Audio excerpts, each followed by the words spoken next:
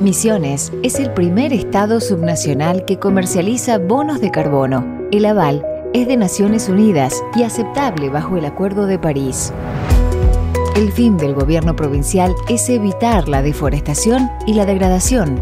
Los interesados podrán adherir al programa y recibirán créditos de carbono para comercializarlos. La empresa suiza Mercuria es la primera en firmar el convenio. Cuidamos la selva. Garantizamos el aire puro.